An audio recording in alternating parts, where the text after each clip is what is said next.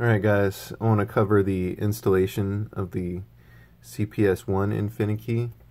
This is the um, standard version that would be used for um, most the most of the games that have a battery like this, except for the Q-Sound games.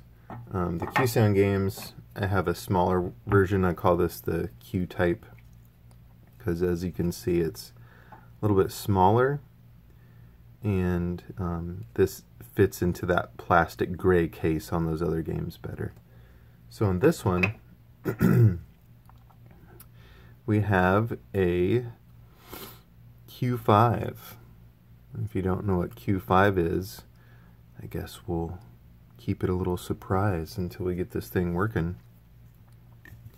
So let's look at our look at our chart here. Q5X.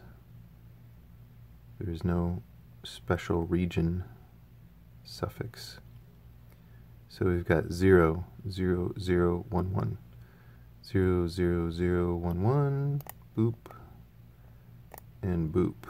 Alright, so our code set there. now, um, when I work on these, I like to minimize flex. Um, on the boards when I'm working on them. And when you start messing with the C board, oftentimes when you're trying to put it back in, you get a lot of flex on this B board, and I just, I really don't like that. So what I'm going to do is um, separate those when I work on them. Um, I would normally power up the board to show you that there's nothing on the screen, but on CPS 1, it should just be a black screen when it dies, so there's nothing exciting about showing you a black screen. So, first course of action is to remove the B board. This board was recently acquired off of eBay, and it's it's nice and clean.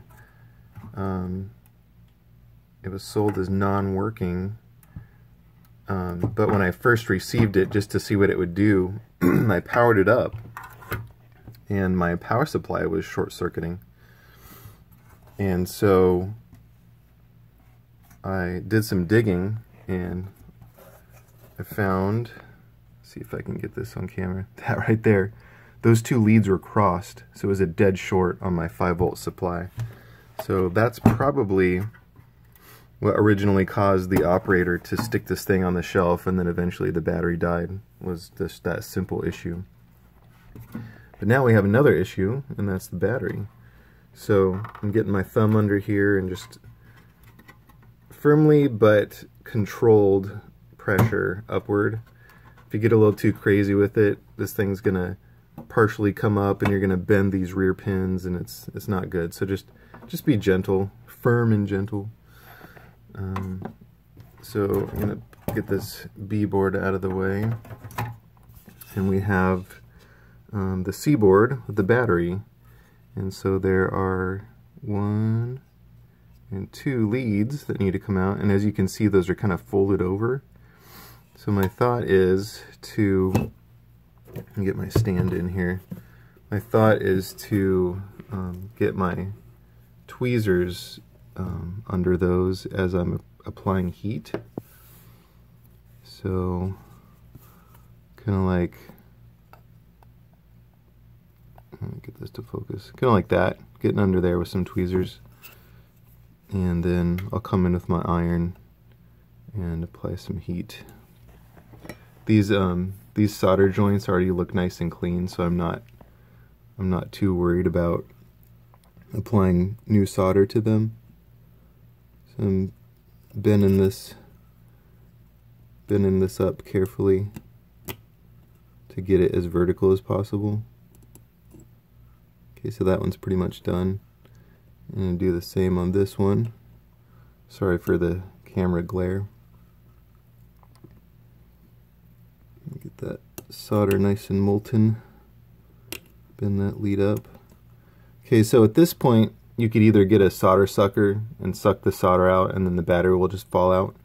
Or if you're lazy like me, at this point, since those terminals are vertical, we should just be able to um, kind of grab this battery from the back and then just by um, heating up the solder it should just kind of pull through uh, by itself so that rear side came through sorry it's kind of tell hard to tell from the camera but so this one should come through as well okay so there's our battery and um, it is dead I did check it with a voltmeter and those holes could use some cleaning, but I'm not entirely worried about it. Um, the main reason I, I wanted to desolder instead of trying to clip those with um, some sort of clippers is it just scratches up the PCB and I, I don't like that. So um, like to keep it as clean as I can. So let me change my camera position here and then we will mate the um, Infinikey with the C-board and as you can see there are um, keys on these male connectors and then on these original female connectors so that makes it takes some of the guesswork out of whether you've got it oriented correctly or not. So I'm just applying again firm controlled pressure to both ends. And you can tell it's seated when that key uh, gets close to the black there. And you can see that they are relatively parallel. So that's a good indicator that we're that we're all the way down with that key all the way up and um, parallel orientation there and then here's our B board all by itself off of the A board. And I want to mate these. So let's see if I can get this on camera well. Again, there's there's more keys here on the bottom of this, so that really, really helps. Come on, cooperate with me. Okay, back dropped in, front dropped in. And so I'm going to, again, apply some firm, even pressure. Okay, that went down nicely. And as you can see, those are, the Infinikey is nice and um, parallel with this board. I don't know if I can see the key from this angle. Eh, not really. See if I can get in there. See that? Yeah, it's really hard with this lighting. But anyways, you can see that they're parallel and that the engagement is good. Alright, so now I'm going to mate the um, B board back with the a board. And so we want to make sure that we get all of these aligned. And whenever you're getting a board that you've never inspected, it's good when you take them apart to um, double check the, the pins. Because I've had some boards that when I separated the A, B, or C boards, that there was a pin somewhere in there that was bent from when somebody had separated it and bent it when they reattached them. So just a good good thing to check before you put things back together is that all those original pins are aligned. Alright, so with the tailwind, this thing might work. Apply some power.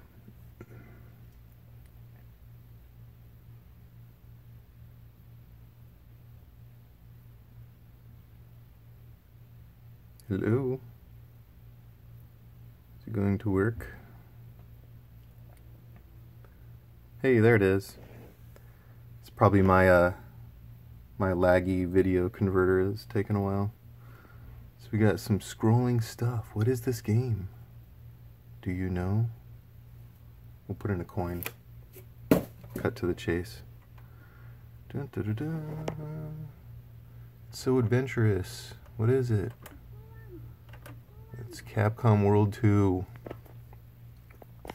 So, I'm a little surprised this didn't come with the plastic case, because I think in Japan, which this is the Japanese version, it did come with a plastic case. But, uh, hey, it works though. And I got a good deal on it. So, uh, next video, I'll be covering uh, CPS 1.5, and at some point I'll do, let me turn this off, at some point I'll do another video showing some of the extended, if I can do this without breaking things, it'll show some of the extended capabilities of this board. This is kind of difficult to do one-handed, but I think we can do it.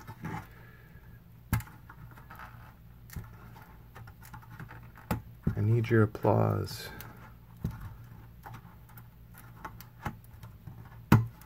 Alright. this has some extended capability with um, using one of these battery C boards and making this behave like a non-battery board.